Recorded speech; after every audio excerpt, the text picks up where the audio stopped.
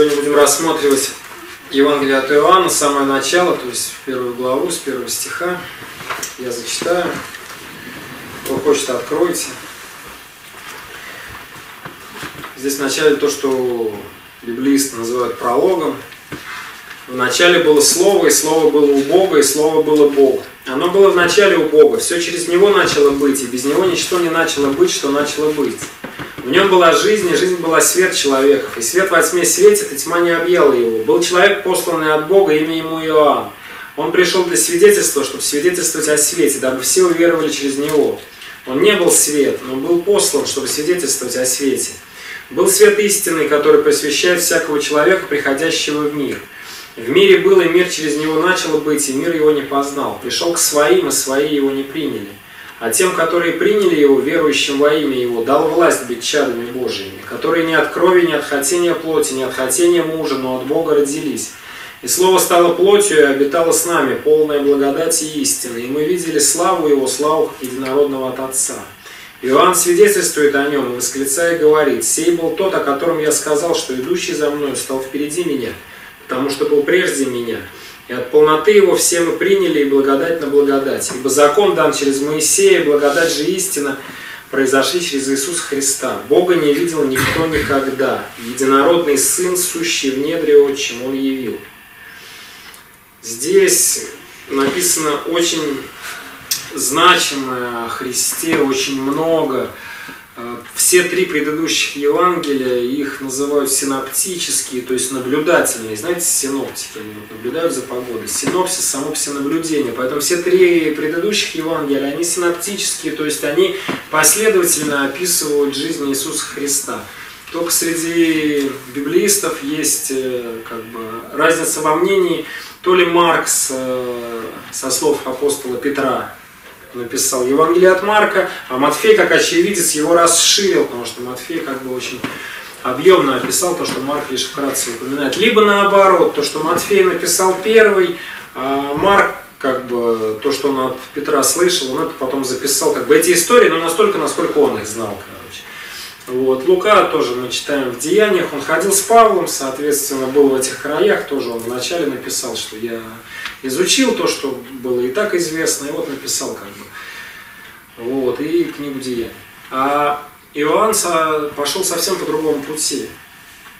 Тут вообще самое начало, в начале было Слово, и Слово было у Бога, и Слово было Бог, и плюс потом эти рассуждения, то, что оно было в начале у Бога, все через Него начало быть, и ничто не начало быть, что начало быть.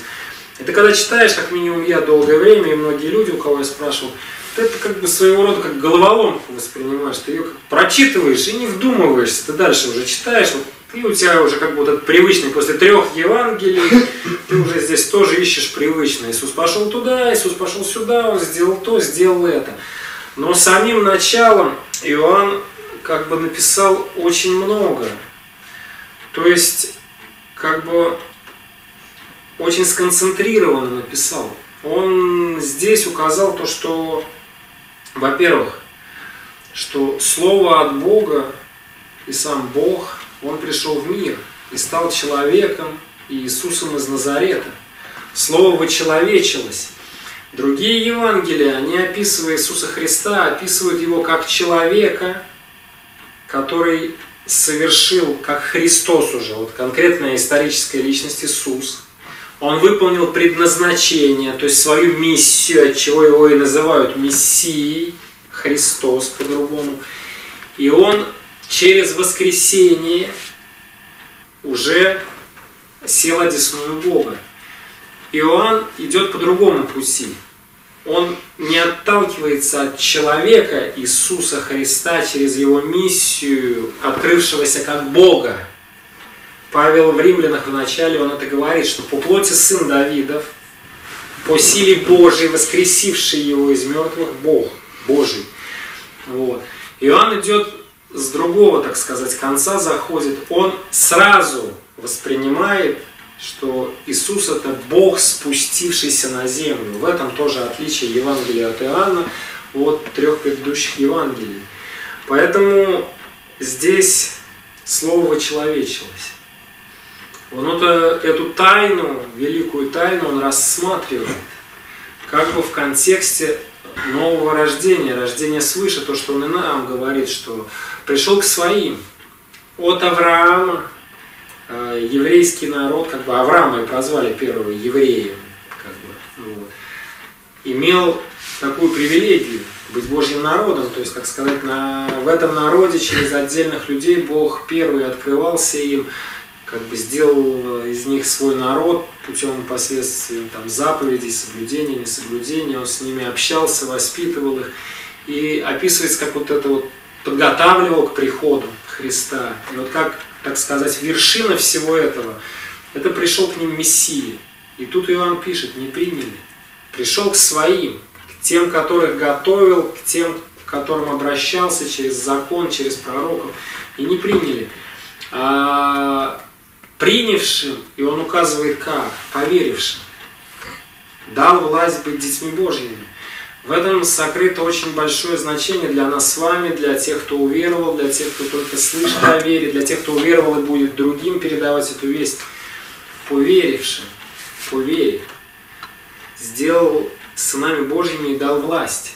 Там сложнейшее слово, поэтому синодальный перевод как власть, также переводится как право или переводится как сила. И это слово, оно скорее юридический термин, оно обозначает, что когда ты становишься Сыном Божьим по вере в Иисуса Христа, Бог не предназначил себе быть ничтожеством. Понимаешь, мы иногда читаем «блаженны нищие». Там не имеется в виду, что ты ничтожество.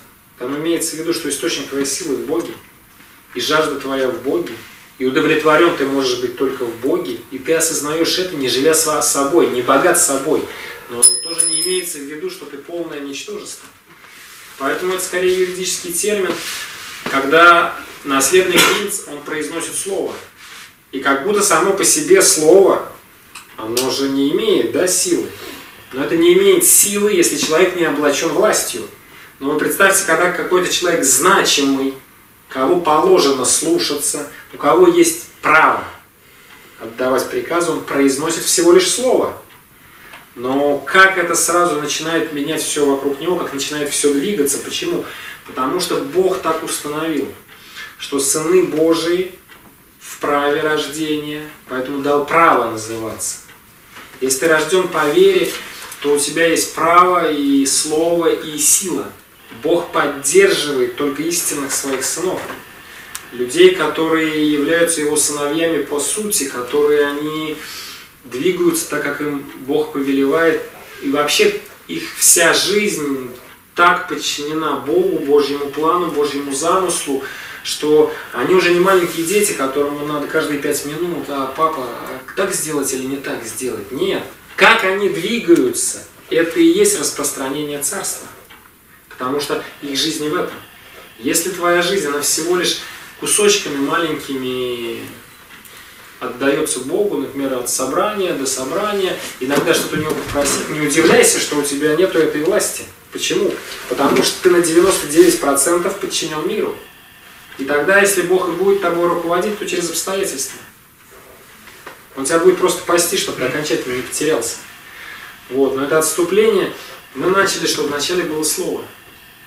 Вообще, кто помнит, какими словами начинается Библия? Библия начинает свое повествование, Бытие 1.1. В начале сотворил Бог небо и землю. Не открывается. В начале. Там описывается акт творения. В начале сотворил. Здесь Иоанн использует термин «в начале было». То есть он представляет слово как вечное, что оно было. До того, как что-либо Бог сотворил, слово оно было. Поэтому здесь говорится даже не в том, что кто был раньше, а вообще как суть всего, что Бог, Он вечно пребывающий. Он сотворил то, что Он сотворил, и описывается, что Отец творил через Сына, что все сотворено через Него, и ничего не сотворено без Его участия. И у этого есть определенный план, у этого есть определенная цель, у этого есть определенный смысл. Поэтому Иоанн объединяет, вначале было Слово. и Слово было у Бога. Хотя бы сразу внешне так не кажется, но в, эти, в этом даже отрывке тоже подсвечивает, частично приоткрыта тайна Троицы. Что Слово, которое Иоанн представляет как Иисус из Назарета, оно уже в начале всегда было, что это личность отдельная от Отца, от того, кого мы преимущественно понимаем как Творца, но в то же время это Бог. И поэтому тоже здесь не впрямую, он больше не об этом говорил. Здесь говорится о том, что сын и отец, они всегда были. То есть, как порождение сына делает отца отцом, то же самое и наличие отца делает сына сыном. То есть, как бы, когда человек становится отцом, когда у него рождается ребенок. Вот. Понятно, что еще присутствует Дух Святой. Но здесь не об этом. И поэтому давайте лучше, легче на телефоне искать.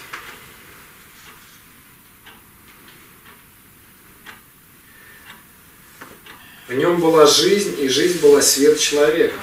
А также Псалом 32.6.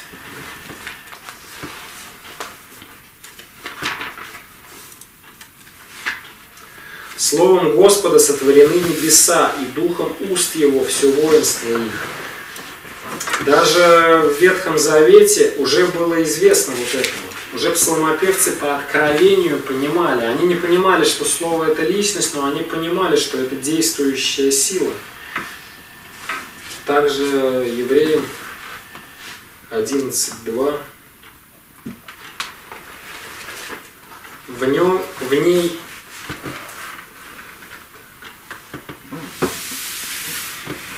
Здесь говорится про веру в ней свидетельственные древние и Иакова 1.8.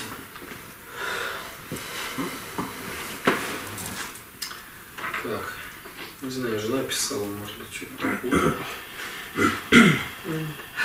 Но не суть. Вернемся к Иоанну.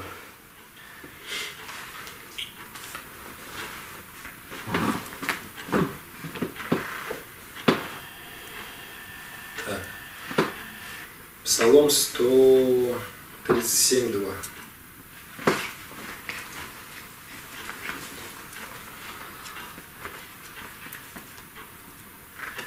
Поклоняюсь пред святым храмом Твоим и славлю имя Твое за милость Твою и за истину Твою, ибо Ты возвеличил Слово Твое превыше всякого имени Твоего. В Ветхом Завете этот стих привлекал внимание и привлекает, потому что Ничто так не почиталось евреями, как имя Бога. Мы думаем, что Бога зовут Бог или Господь. Это как бы его титул, если говорить в человеческом эквиваленте, это его титул. Вот. Но как его зовут, сущий, кто-то сейчас говорит Иегова, или Яхве, это имя четырехбуквие, оно из четырех букв состоит – оно было настолько святым, что в современном языке потерялось, как оно произносится. Поэтому кто-то говорит, да, тетраграмматон четырехбукве. Кто-то говорит, что и Егова это точно неправильно, потому что это совмещение двух слов. Было известно, вот это вот четырех букв, это все согласные. А гласные взяли из другого слова, из Господь, Адонай. Ну, как бы это явно, что это не те гласные, которые там были, их просто взяли из другого слова. Вот. Кто-то пытается произносить эти четыре буквы в современных языках, больше на Яхве или на Ягве похоже. Не суть. Суть в том, что для евреев это имя было так свято, что вслух произносить нельзя было, за произношение этого имени убивали, и вдруг в Ветхом Завете, в котором это так все было свято, вдруг псалмопевца откровения, и плюс Бог это подтверждает, помещается слово. Ты превознес слово свое превыше всякого имени твоего. Уже тогда это казалось очень странным. Вроде бы слово это знание о Боге, а имя это как бы имя самого Бога. Но Иоанн это понял и выразил в том, что Иисус своей жизнью, Он и выразил то максимальное знание Бога, которое мы можем получить. Потому что то, что сейчас делает Дух Святой с каждым верующим, который желает пойти до конца, который не желает быть просто прихожанином по воскресеньям, это сотворить в тебе личность Божьего Сына, Божьего ребенка. И тогда Иисус всей своей жизнью, Он максимально это выразил. И тогда это уже знание не о Боге, а знание самого Бога. Поэтому уже в Ветхом Завете псалмопевцы получали такие откровения, что Словом Своим Ты все сотворил, что Слово Твое превыше имени Твоего. Они уже Дух Божий, Он и тогда им уже показывал, подсказывал, что придет тот, кого и зовут Словом. В Откровении есть видение Иисуса, который есть Слово Божье. Он там тоже одно из его имен, это Слово Божье. Вот. Поэтому Псалом 109.3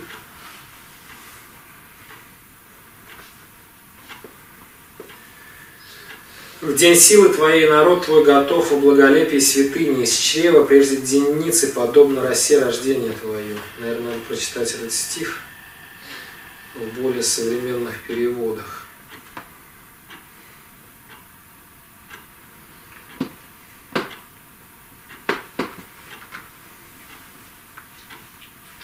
День твоей силы твой народ соберется вокруг тебя, они будут одеты во всем великолепии и святости, как росу из чрева зари я родил тебя. Здесь и говорится о порождении Иисуса Христа, Сына Божьего, что народ соберется, кто есть народ, это те, кто верует в Него. Вот, во всем великолепии и святости. То есть Бог хочет собрать свой народ и сделать его как бы великолепным. И здесь слово было Бог. Потихоньку к сути подходим многие так считают, и как бы самое простое поверхностное толкование, здесь как будто утверждается, что второе лицо Троицы, Иисус Христос, это Бог.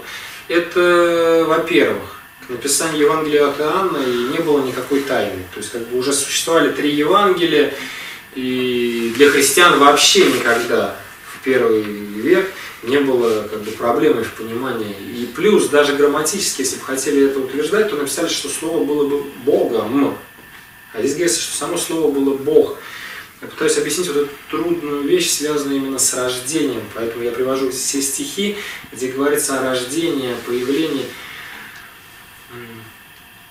Бог так выразился через свое слово, что вот как бы вот Иисус Христос это и есть э, максимально то, что мы можем как бы понять, представить, почувствовать.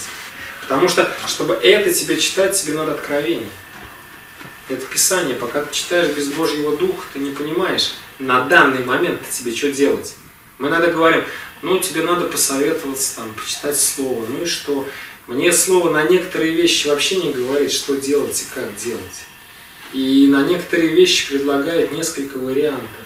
А на некоторые, может быть, я слишком мало понимаю, чтобы понять, что оно мне вообще говорит. Или что мне все слово надо прочитать, чтобы понять вообще, о чем, что оно говорит во всей полноте про то, что со мной происходит. Поэтому мне нужно откровение. А вот уже чтобы совершить чудо веры в тебе, Бог использует слово. Да, в этом оно уникально. Он не скажет себе комиксы от Марвела, почитай, я там с тобой поговорю. Хотя Бог-то как Бог может поговорить с тобой через все. Ты слышишь свидетельство, что Бог мне сказал через эту ситуацию, через эту ситуацию, через эту. Но чтобы сотворить чудо истинной веры, Бог использует свое слово. Вот. Поэтому Иисус стал выражением.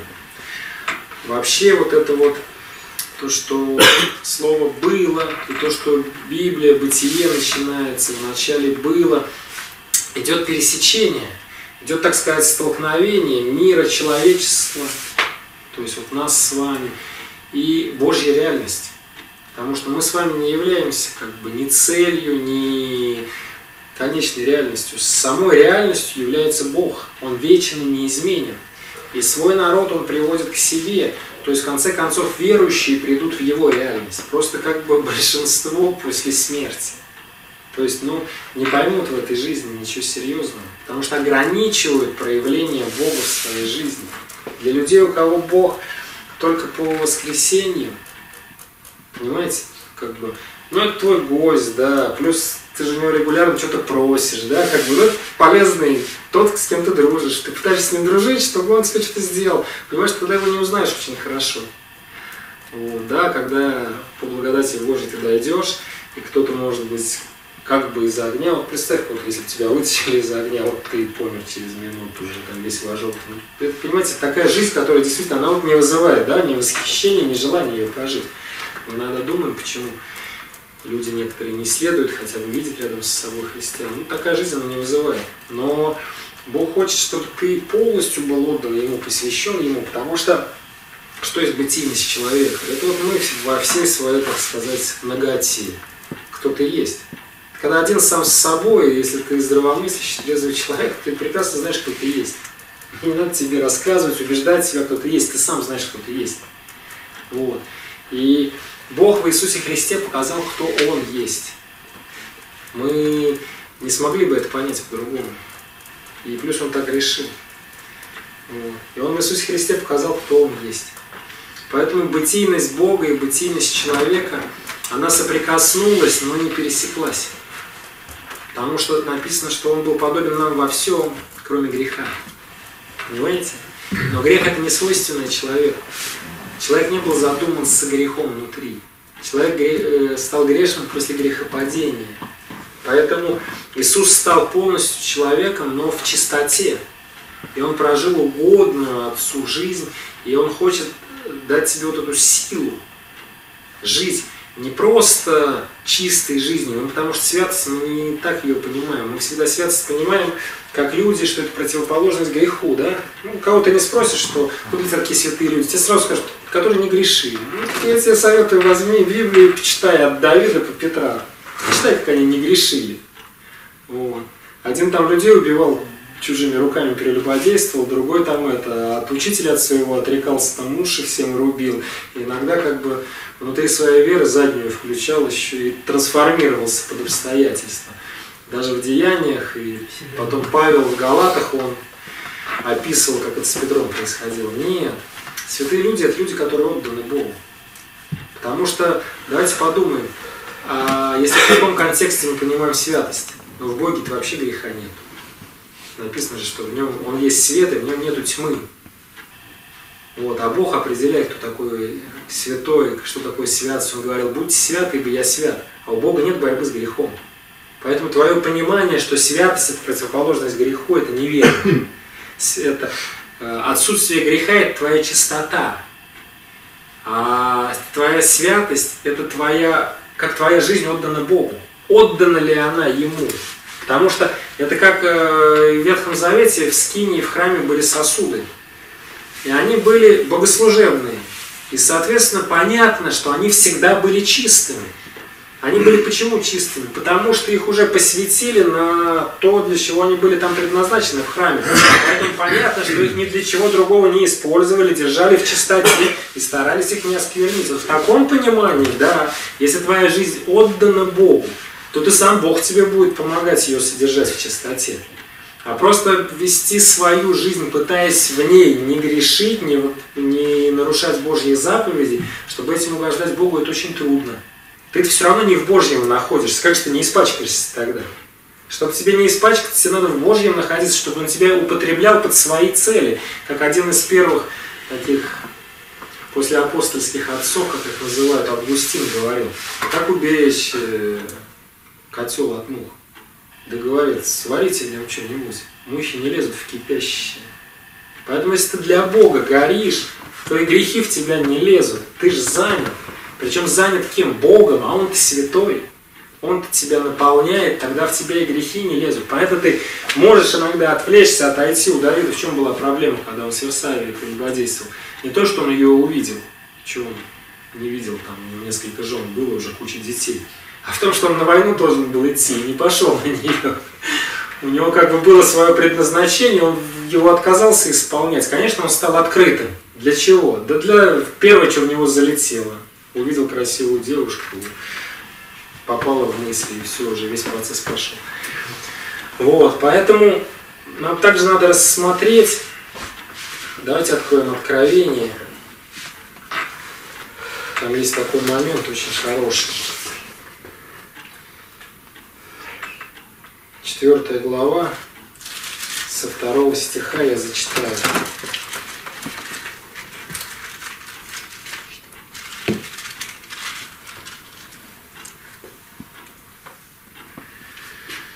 Да, никаких я до конца не научусь этим приложением пользоваться. И тотчас я был в духе, и вот престол стоял на небе, и на престоле был сидящий. сей сидящий видом был подобен камню Яспису и Сардису, и радуга вокруг престола, видом подобная Смарагду. И вокруг престола 24 престола, и на престолах видел я сидевших 24 старца, которые облечены были в белые одежды и имели на головах своих золотые венцы.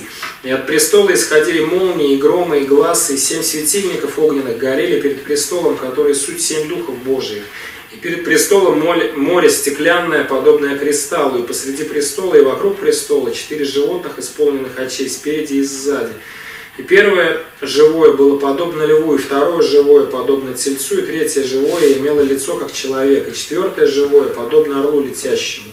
И каждый из четырех живых имело по шести крыл вокруг, а внутри они исполнены очей, и ни днем, ни ночью не имеют покоя, взывая «Свят, свят, свят, Господь Бог Вседержитель, который был и есть и грядет». И когда живые воздают славу и честь и благодарение сидящему на престоле, живущему во веки веков, тогда 24 старца падают пред сидящим на престоле и поклоняются живущему во веки веков и полагают венцы свои перед престолом, говоря, «Достоин Ты, Господи, принять славу и честь и силу, ибо Ты сотворил все, и все по Твоей воле существует и сотворено». Вот. Это самое открытое место, где Бог показан во всей своей славе. Причем это место показано во всей Библии несколько раз, но оно всегда показывается снизу вверх. Только Иоанн написано, был в духе на небе. А, когда Моисей поднимался на гору, и весь народ поклонялся у входа в свои шатры, они видели подножие трона, там описывается этими же словами подножие трона.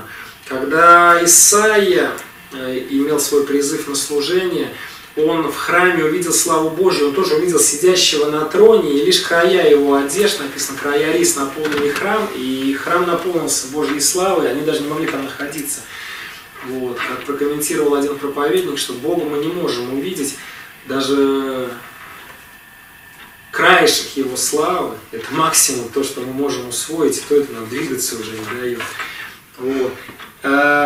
Часть этого видения видел Иезекииль, он видел этих живых. Я специально читал не животных, как в синодальном переводе, а живые там, это зон написано. Это просто обозначает живое. Это обозначает, что это не камень, не огонь, не вода, не... Это живые. Вот. Просто синодальный почему-то перевел живые. Вот. И здесь только это единственное место, где прям вот во всей такой полноте, так сказать, грандиозности показано видение Божьего, даже не славы, а уже самого Бога. Просто его не видно. А, здесь, во-первых, здесь написано, что достоин ты сотворивший. Здесь все творение поклоняется своему Творцу. Ты Божий, и грешишь против Бога даже тем, что не воздаешь Ему славу, потому что ты Его по праву творения. Даже сам факт, что Он тебя сотворил, это и делает тебя Его. Вот. То есть э, Иисус тебя искупает из твоей человеческой бытийности, где ты уже продан греху, где ты уже грешный человек, где ты сам заблудший человек, где ты никак не дойдешь до Бога своими силами. Но ты Божий, Потому что как мы можем совершить преступление против того, если мы не принадлежим Ему? Но ты Божий, потому что Он тебя сотворил. Уже одно это делает тебя подотчетным. Здесь написано и показано, что творение поклоняется Творцу только за сам факт, что Он его сотворил. И здесь именно во всей этой грандиозности подчеркивается, так сказать, суть Бога, сущность Бога. Вот эти живые существа, которые полны очей, они закрывают Бога от творения, потому что грешному творению нельзя видеть славу Божию. Поэтому здесь Бога особенно еще не видно, он все равно, даже живые существа вокруг трона, на троне, знаете, такая смытая перспектива, невидная, меняющаяся. Мы еще пока не можем разглядеть Бога. Вот. Это, как, бы, как считают теологи и библеисты, это третье небо, то, куда тоже Павел был, скорее всего, поднят вот, рай по-другому, но это еще не новое небо. Новое небо в конце книги Откровения, оно уже не показано. То есть грешному творению нельзя видеть Бога в его чистоте и святости. Бог не позволяет себя видеть в славе тем, которые его бесславят. Поэтому он, он даже и не дает эту славу увидеть. Поэтому и здесь говорится святый. То есть Вот как мы обсудили, что у Бога святость это не как у тебя, это не противоположность греху. Он не имеет греха, не имеет в себе тьмы. Это больше показывается его, так сказать, исключительность, эксклюзивность, неповторимость. Поэтому этим живым вокруг него им не скучно. Они должны думать, что они миллионы, миллионы лет повторяют одну и ту же фразу, как это заевший магнитофон. Нет. Написано, что даже они покрыты очами, им дано более, так сказать, эксклюзивное право видеть Бога. У них не два глаза, у них их больше.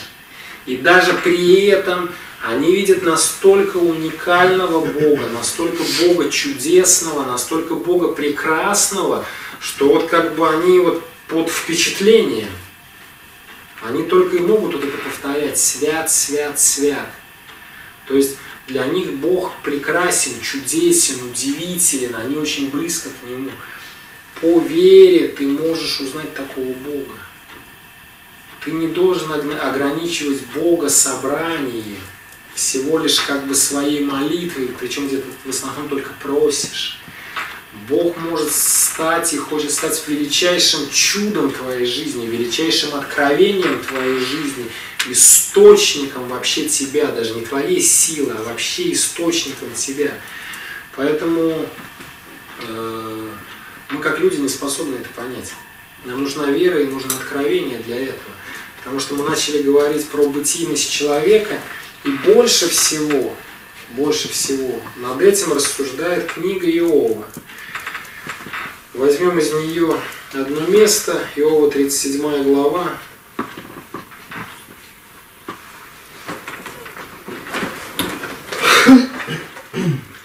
Здесь 23-24 стихи.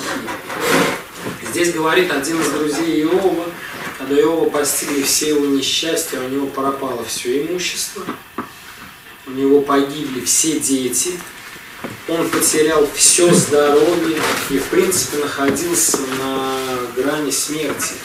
И к нему пришли его друзья, и из-за фразы, что в конце книги Бог говорит, что гнев мой на этих людей, потому что они говорили обо мне не так верно, как раб мой Иов. Мы почему-то думаем, что когда их слова, они, так сказать, яйца выедены, если это не так.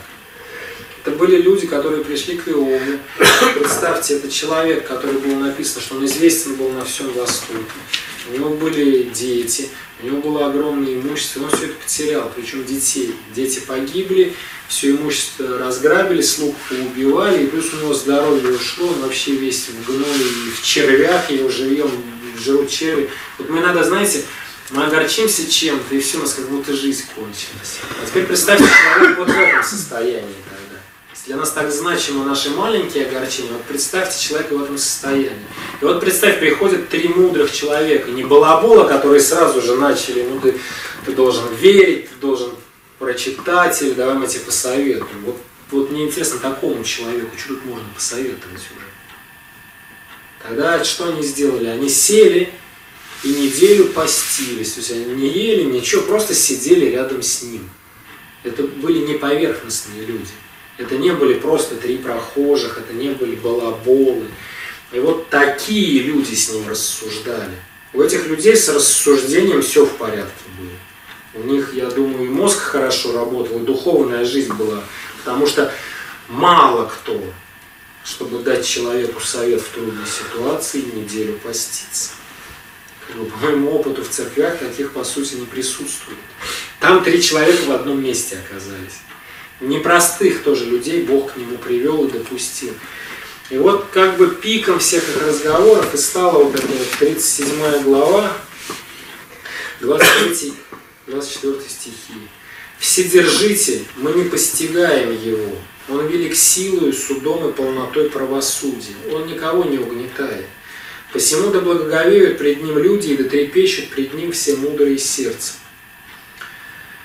Первое, что этот человек понял, что вседержитель, то есть что у Бога абсолютная власть над своим творением.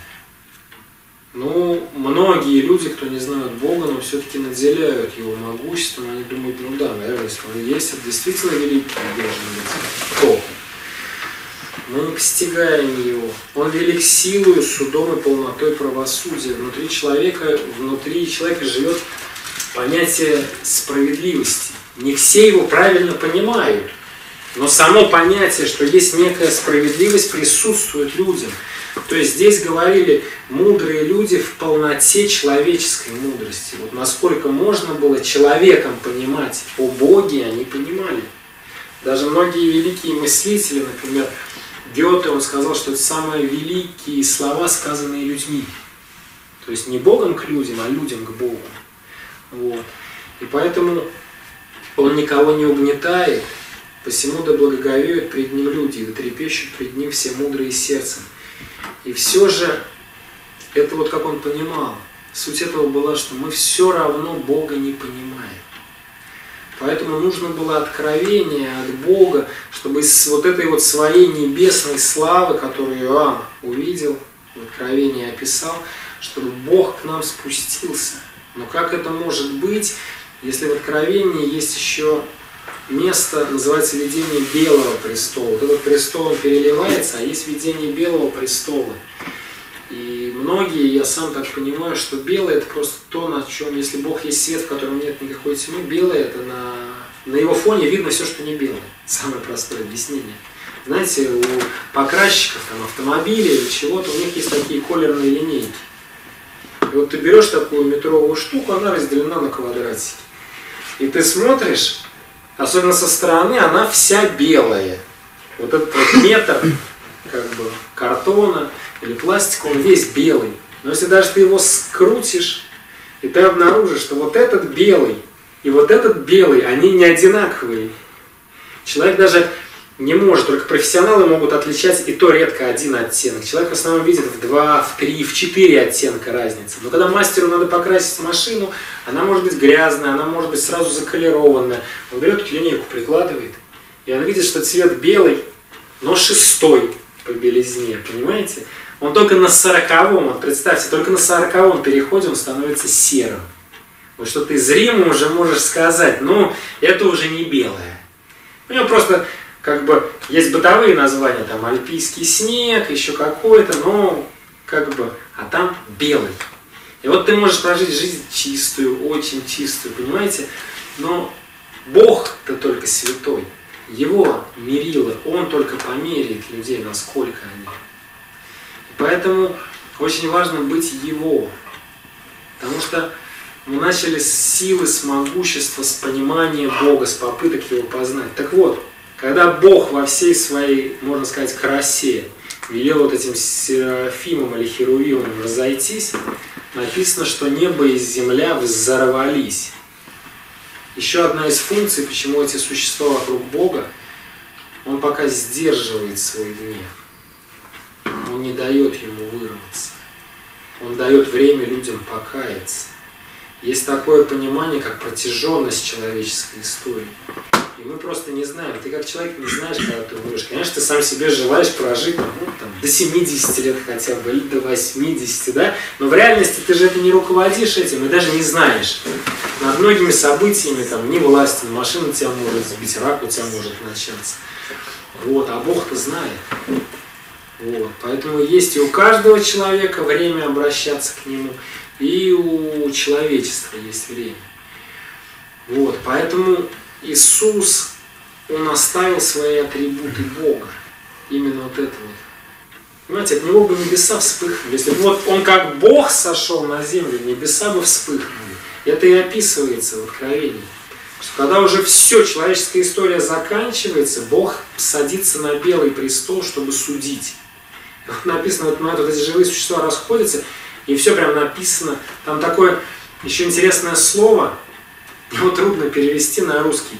Ну, короче говоря, вот представь, вот шарик, вот его проткнули, вы видели, что когда шарик взрывается, его еще отшвыривает вот этот лоскуток. Вот там вот это слово описывается, что небо и земля, и написано, что вот их рвануло и отшвырнуло в сторону. Вот на русском одним словом трудно перевести, но чтобы вы поняли, как будто шарик летал себе, летал, на кактус наткнулся, и вот ты видишь, как этот лоскуток полетел куда-то, уже это не шарик. Вот то, что произойдет с творением. Бог замыслил, что в вечности с Ним, в Его общении, в Его святости, в Его красоте, в Его величии прибудут только те, кто уверуют. Вот это вот как бы сложность Его плана, то, что ты не можешь просто чтением. Вроде ты даже можешь это человеку объяснить, но если откровения от Бога нет, если чудо веры в тебе не произошло, ты это никогда не поймешь. Вот. Поэтому Поэтому нам нужна вера и нам нужно откровение, чтобы понять, кто есть Бог. Потому что высшим откровением Бога о себе, вот это его нелогичность, вот, то есть наши мысли, это не его мысли. И Бог сам говорит, что ваши мысли это не мои мысли, пути мои не пути ваши. Поэтому никогда ты не поймешь Бога логикой. Не помогает накапливать знания о Боге. Надо знать Бога. А для этого надо жить с Богом. Надо быть близко к Богу, достичь вот этой близости с Богом. И там, как специально поставленные эти существа, они это понимают. Они взирают на Бога ближе всех из творения.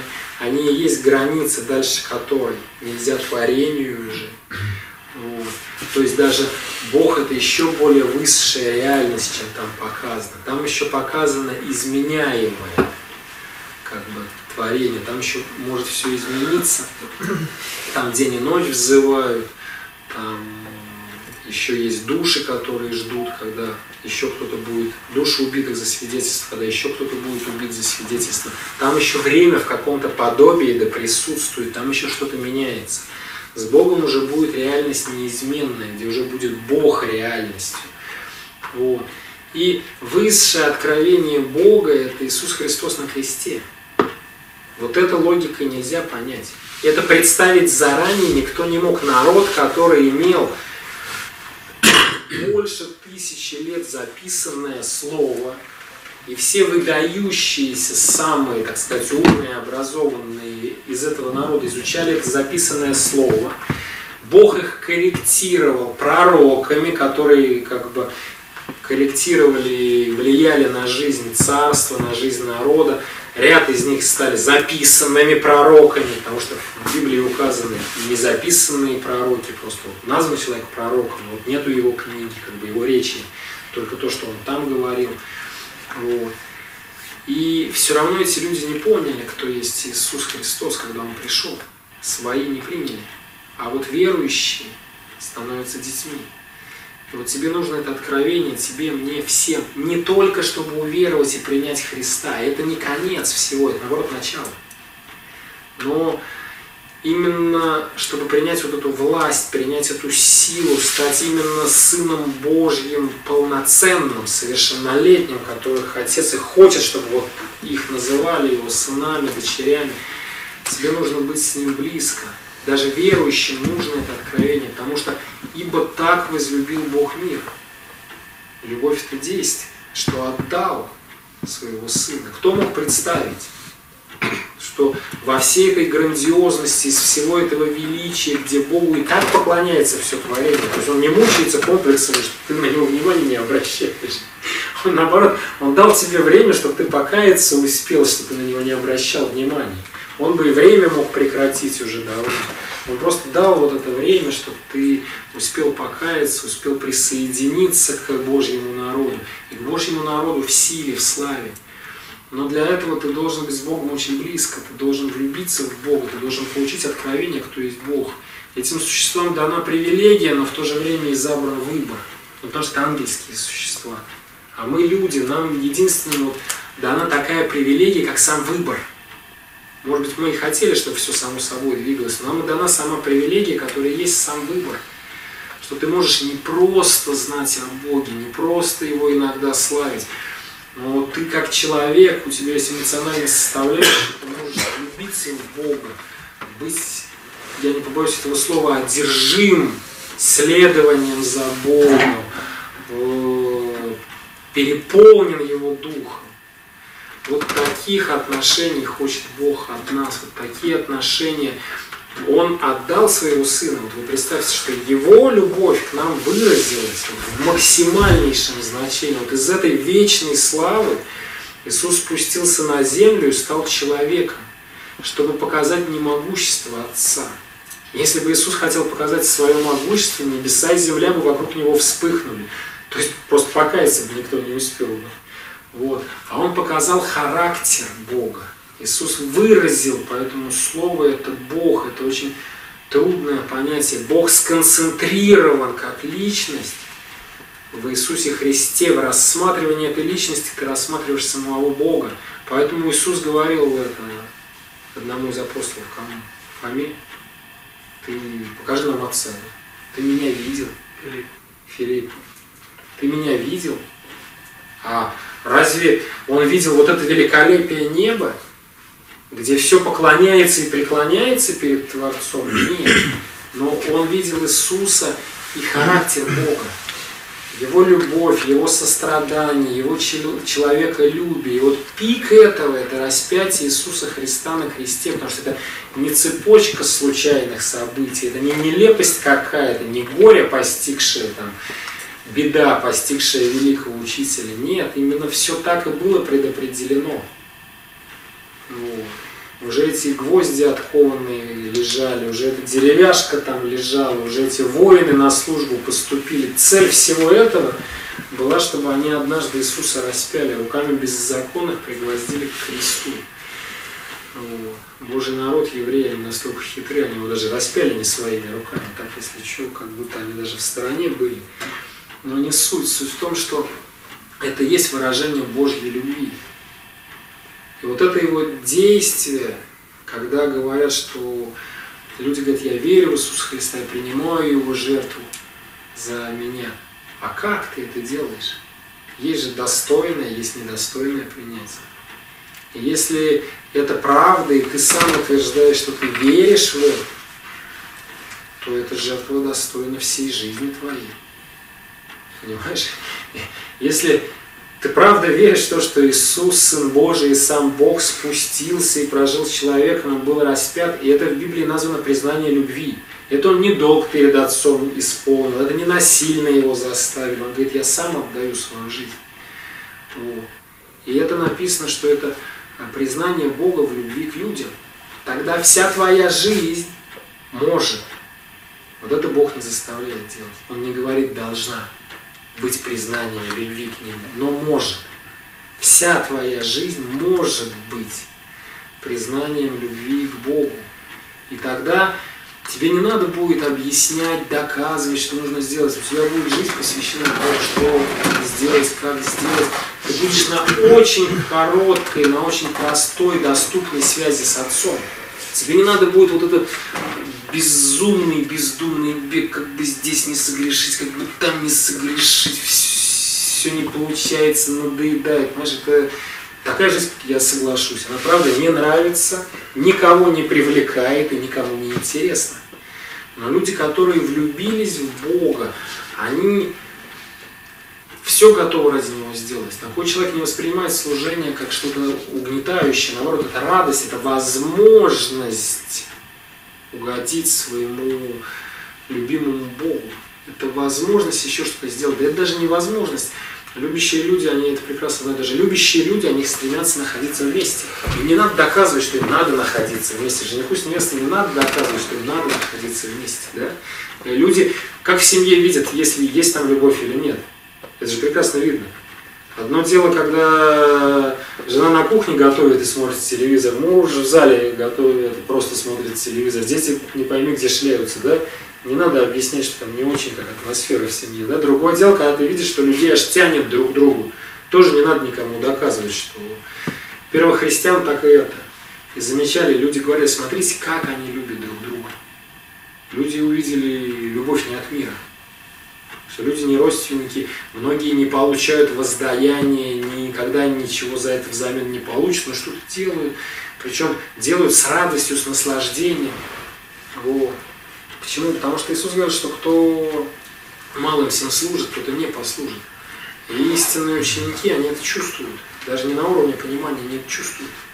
Они служат этим, служат тем, а в этот момент они находятся в присутствии своего Бога. Вот эта вот часть этого небесного великолепия спускается в твое сердце и в твою жизнь. Вот такая жизнь, конечно, привлекает людей. Почему? Потому что не ты, а в тебе Бог чувствуется. И ты сам от такой жизни не устаешь. А вот я еще послужил, как я устал к концу недели. Нет, ты наслаждаешься такой жизнью. Такая жизнь сама тебя кормит. Иисус э, разговаривал с самарянкой, а как человек он был очень уставший. А ученики принесли ему пищу, он сказал, да все, я уже наелся. Потому что он волю Отца выполнял, когда он с этой женщиной разговаривал, когда он глаза открыл, когда она в Бога поверила по-настоящему. И ученики пришли, и он сказал, все, я наелся. Они думают, откуда немножко есть приносил. Там написано, в Евангелии это их недоумение даже, может, он поесть кто-то принес. А он говорит, воля, творить волю Отца пищи. Поэтому люди, которые они влюблены в Бога, они идут за Богом, они бегут за Богом, они ищут Бога, они переполнены. Ты думаешь, они должны быть самыми уставшими, смотришь, они самые переполненные. Почему? Потому что Бог с ними, они с Богом. Вот это, вот это суть христианства. Вот это Иоанн пытался показать, кто же такой Иисус Христос, что Он сделал на этой земле. И он вот показал, что это именно вот, вот он начал с того, что Бог спустился на землю. Вот об этом я хотел поделиться. Спасибо, что слушали. Пусть Бог вас благословит, но только слышали, но и принять.